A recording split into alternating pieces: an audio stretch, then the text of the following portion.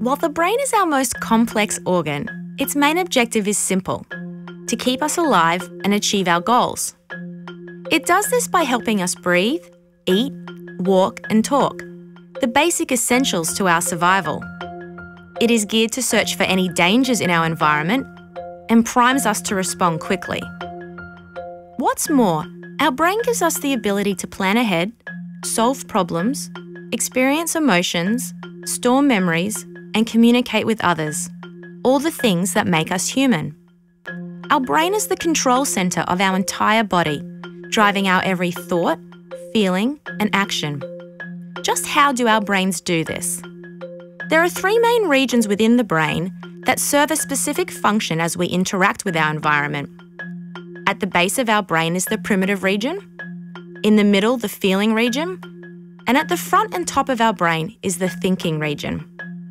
While these three regions have their own special function, they operate as one connected network to keep us alive and reach our goals. The primitive region of our brain looks after those basic life functions that just happen automatically, like our breathing and heart rate. It also helps coordinate our basic physical movements, such as our balance and posture.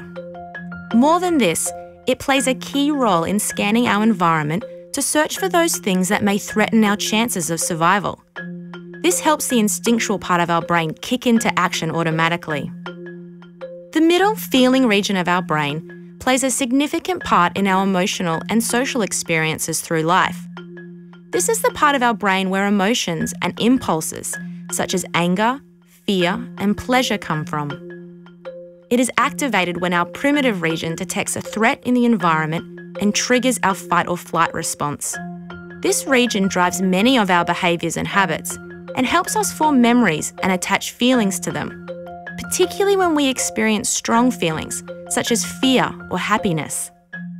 Lastly, the thinking region is the largest and most highly developed part of the human brain.